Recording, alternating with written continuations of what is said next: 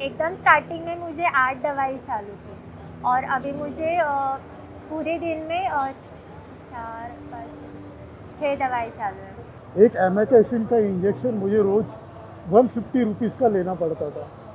बाकी मेडिसिन भी काफ़ी महँगा था। तो ज़्यादातर मेरा खर्चा सैलरी वगैरह उसमें ही चला जाता था।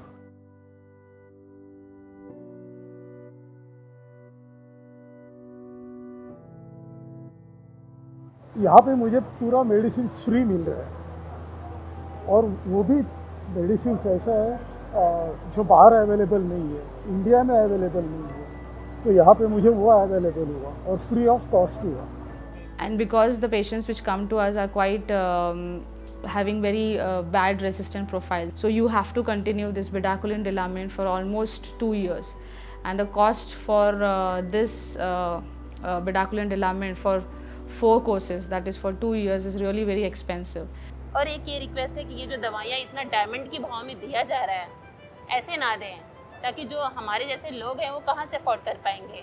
Due to which we are not able to provide this care to number of patients so we have to limit our capacity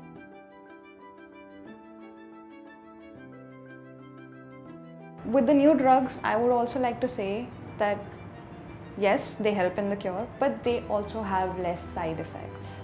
And the lesser the side effects, the more adherent a patient will be, the more likely he will finish that treatment.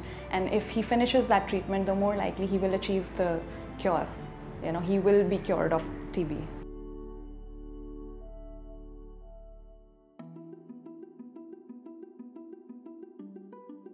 Daily med चालू हुआ यहाँ पे वो एक फ़ायदा हुआ मुझे उससे नेगेटिव अभी तक है। और अभी मुझे कॉन्फिडेंस है कि नेगेटिव रहेगा यहाँ मेरा।